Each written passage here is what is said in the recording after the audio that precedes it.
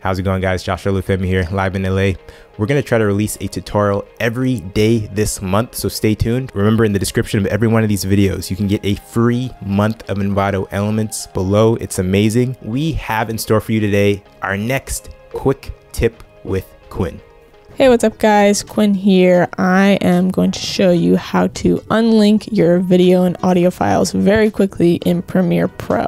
This is used if you want to cut your audio sooner or cut out your video sooner and just have audio playing. So as you can see, this clip is linked up. The audio is going to move with the video. And one way you can do this is by unselecting this linked selection icon. So this will unlink your footage and now you can move your audio and video around any direction that you want. But there's a faster way to do this, and it's by holding down your option button. So if I hold down option and drag, as you can see, it temporarily unlinks the footage, so you can adjust it however you want.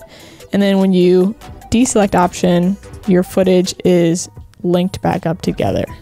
So yeah, this has been super helpful for me, especially if I'm trying to cut out a clip or just use its sound or just use the video. And hopefully it is super helpful for you as well. Thanks so much for watching.